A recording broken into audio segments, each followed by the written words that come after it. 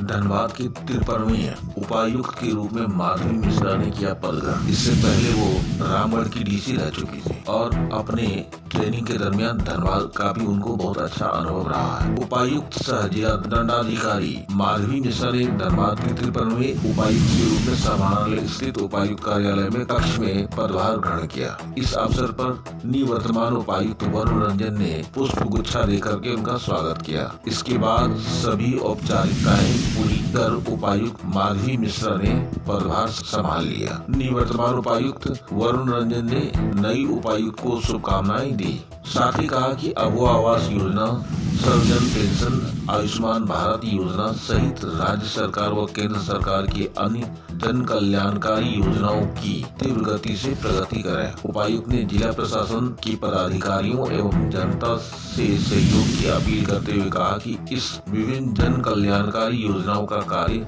सुचारू रूप से संपन्न किया जा सकेगा। उन्होंने कहा कि पुलिस, प्रशासन और जनता के सहयोग से कई बड़े पर्व त्योहार को शांतिपूर्ण तरीके से संपन्न किया गया है। अपने कार्यकाल के दौरान सबके सहयोग से धनबाद में कई काम किए। साथ ही कहा कि मीडिया सहित अन्य माध्यमों से कई समस्याओं की जानकारी मिलती रही। उसके समाधान की दिशा में कई कारगर कदम उठाए गए। में उपायुक्त के रूप में काम करने का अनुभव बहुत अच्छा रहा।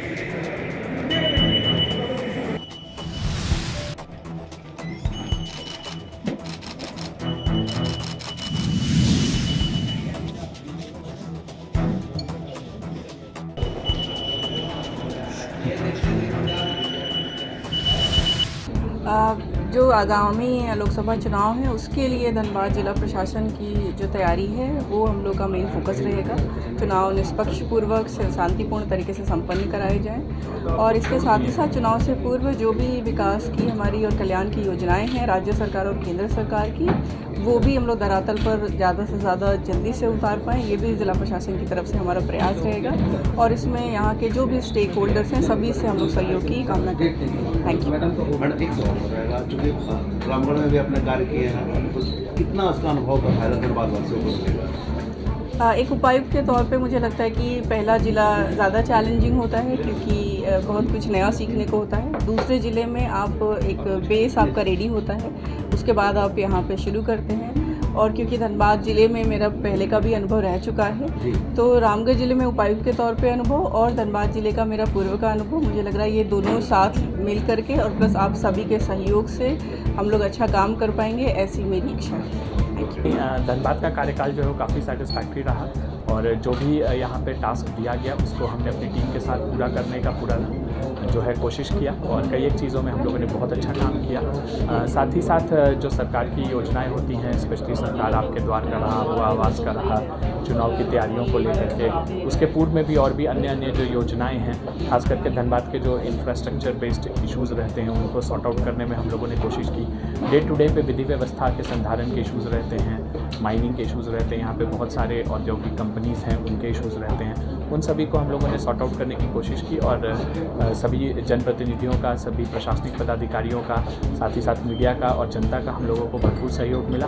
इसके लिए हम लोग सभी के प्रति आभार व्यक्त करते हैं। सर, एक सवाल रहेगा। क्या ऐसा आपने प्लान किया था जो चुनौतीपूर्ण लगा और जो नहीं हो पाया, वो होने की ज़रूरत है? नहीं मतलब कई सारी ऐसी चीज़ें हैं। धनबाद एक काफ़ी अच्छा बड़ा शहर है और यहाँ पे कई एक चीज़ें हैं जो होनी चाहिए।